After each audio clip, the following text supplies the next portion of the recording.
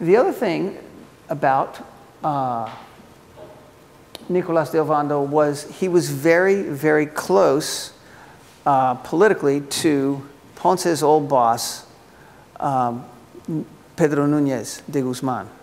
So then, when Ovando arrives in the New World, Ponce's political status went straight to the top because now his, his old master's buddy is here, the governor. So he's also a military order man. Ponce is a military order man. So in 1504, the second war breaks out in Higüey, and Juan Ponce is made the commander of the troops from Santo Domingo. And this is the first time you see Ponce de Leon coming forth and being described in the chronicles discussing the, the, the New World. Uh, all, that, all that comes before that is um, pretty much just worked out based on what was happening there. So after the province is conquered, Ponce is made the, essentially the governor of the province. He's made lieutenant of the province, and he's told to establish two settlements, um, and, which he does. As I mentioned, it's not gold bearing. So they all set up ranches uh, and farms and produced cassava bread and salt pork. And Ponce himself was into cattle ranching. Again, I think that goes back to his roots in Spain. So this is the eastern province of Higüey, and this is the town he set, set up, Salva León de Higüey, which was actually on a river called the Yuma River, which comes out right here. And so there was a port there. And the mining, these, these are all like mining regions. Um, so there was a huge mining industry here. And that just sucked in all, all the bread and all the salt pork and anything that was comestible into that zone. So when you had Spanish ships that would arrive and unload their cargoes, that they needed to resupply to head back to Spain. And the prices of bread were very expensive and often they couldn't get what they needed to cross the Atlantic. So they would just come along the coast here, anchor up in Ponce's harbor, and get whatever they needed at reasonable costs. So these guys were all making good, good business on supplying the mine region and making, uh, supplying vessels going back to Spain. But there was also cross passage traffic between the Taino Indians of San Juan, Bautista, which is what we know today as Puerto Rico, and Española. And news got to Ponce that there was gold on that island. So uh, he went to Ovando and said, you know, I'd like to go across and I'd like to explore that island and, and, prospect and see if we can't find some gold there and start mining. And Ovando was good with that. So in 1506, he takes three ships and he anchors off the west coast. They go ashore. They actually settle into a community here known as Mampo el Grande and in what would later become San German and explore the island where they find this wonderful bay here and eventually begin prospecting and mining operations here. In 1508, he, uh, he goes back to Ovando and they basically get a contract and he takes another load of people and he lands on the south coast with those guys and, and sets up some businesses here. Um,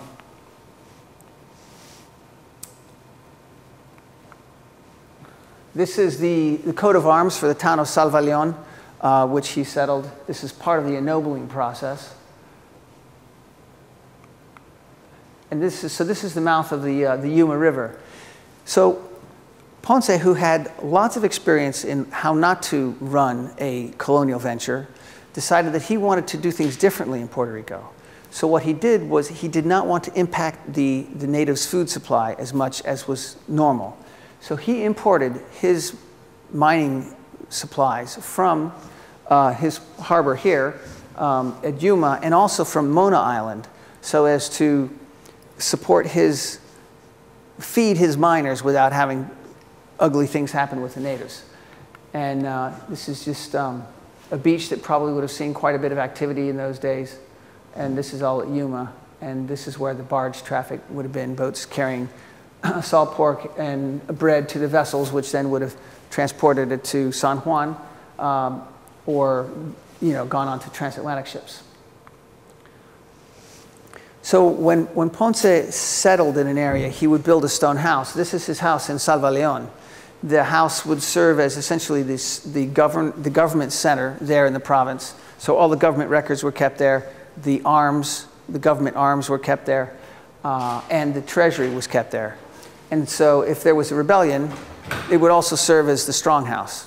Most other structures were wood and you know, thatch and that sort of thing. So when he went to Puerto Rico, he did the same thing.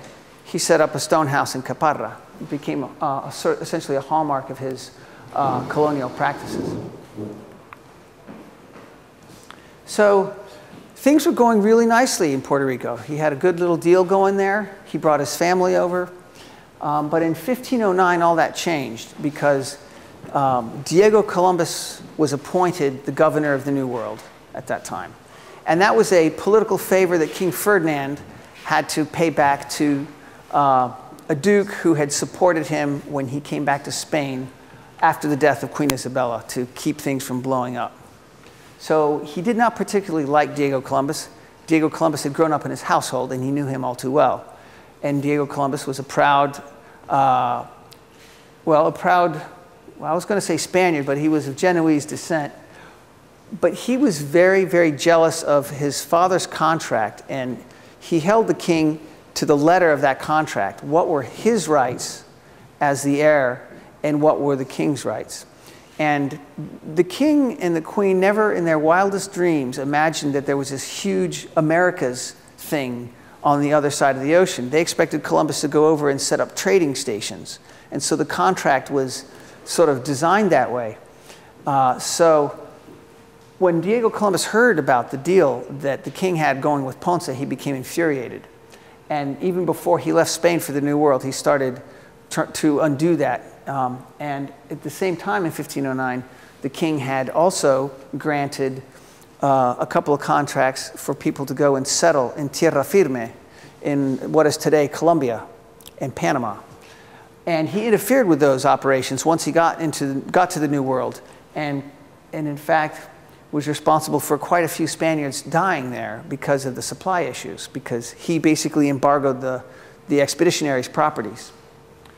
So what he did in the case of Puerto Rico was he appointed some of his officials to run Puerto Rico, and they went over to Puerto Rico, where Ponce was happily mining away with his friends and family, and 150 settlers went with them. So they landed in Puerto Rico and they established a town in San German on the west coast. And the first thing they do is they distribute the Indians. It was, uh, the term was called repartimiento, and it's what was done on Española. It's like okay, this chief and his people are going to take care of you and serve you. And they'll do, and you'll tell them what to do and they'll do it.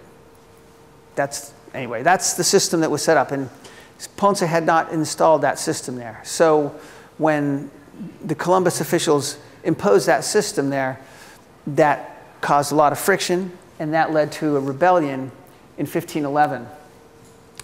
Um, but the king did not, there were counter moves. The king appointed Ponce governor, and he had the decree smuggled to his treasurer in Santo Domingo, who then put it on a vessel and had it smuggled into Puerto Rico and given to Ponce because he didn't want Diego to get any news of it. He didn't want him confiscating the paperwork, for one thing. So Ponce gets this decree in uh, 1510 that he is the governor. So he, he gets his supporters. He says, I have an important announcement. I need you all to be present. You know, come to the plaza and he calls the officials, and they all got together there. And he opens it up and says, I, the king, appoint Juan Ponce de Leon governor of Puerto Rico. And Columbus's officials said, Well, that's not valid. That's not legal. He can't do that. He doesn't have that power. That's not in the contract. We are the political appointees on this island, and you are not. That's not, you're not the governor. At which point Ponce said, Well, you can explain that to the king in person. You're under arrest and he shipped them to Spain under arrest, just made them go away. uh, he actually did it by embargoing a ship that was in the harbor at the time that belonged to one of those officials and persuading the captain of that vessel, who worked for one of these officials, to take his boss to Spain under arrest and essentially work for Ponce after that and represent Puerto Rico as a procurador, or essentially their representative before in the king's court. So he did that. And that triggered a court case the king, Diego Columbus sued the king. And the king lost on a number of counts. He lost on the, he did not have the rights to appoint political officials And that's, the court's like, there, it is, black and white in the contract. You can't argue with that. But the right to appoint Indian labor was something that belonged to the king. So the, the fight, the political fight after that was over the Indian labor because the Indian labor represented the wealth. The Indians worked in the mines. The Indians took care of the cattle herds. The Indians worked in the fields. So whoever had the Indians had the wealth. Uh, so uh, while the court case is going on, the Indian rebellion breaks out in 1511. Ponce puts it down, more or less. He establishes some control over the island, but a, an alliance between the Taino Indian of San Juan and the Carib of the Windward and Leeward Islands has occurred. Um, and so now they're fighting, basically they're in big Indian wars. And for the next 20 or 25 years, the island would not be at peace. There would be raids all the time. Uh, but there was some semblance of control.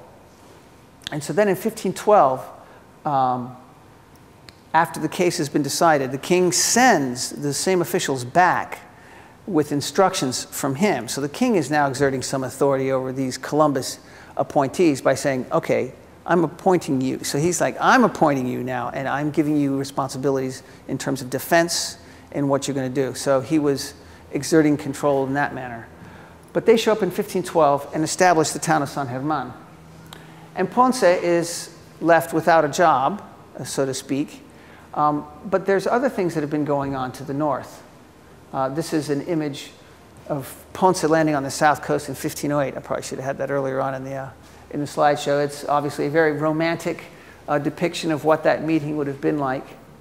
I don't know if Ponce was a redhead or not, but he's depicted as such here. So, this was the town of San German that was set up by the Columbus uh, faction. This is Ponce's settlement over here. The capital was called Caparra, and the king eventually referred to it as, as Puerto Rico because there was a lot of gold coming out of it. It was a rich port. And over time, the island name and the capital name changed. So now it's the island of Puerto Rico and the capital is San Juan. Um, so when, when this operation got going, a trade sprang up between these two islands.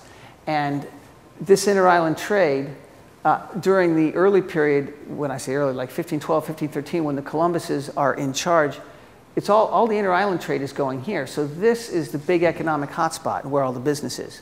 Ponce is out here, he gets some ships trade calling from Spain, but there's not as much, I mean, the gold mining's good, but there's not as much inter-island trade going on.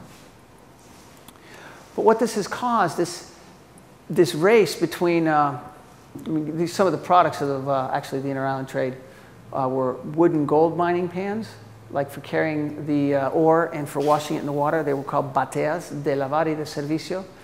Cotton hammocks and shirts. Uh, cotton was a big crop as well. And salt pork uh, were also, these, and these were the products of the inter-island trade.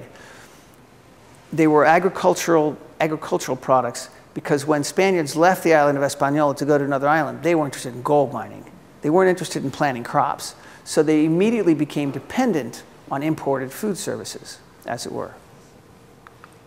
So this trade sprang up. This was the disaster that almost completely went away in Tierra Firme. There was gold here, there was gold in Puerto Rico, and there was gold in Cuba. Jamaica had no gold. It was like Higüey. So they exported comestibles and cotton products.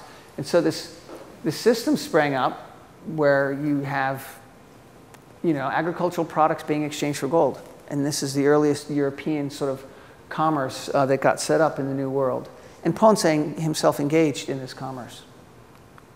These are the trade routes.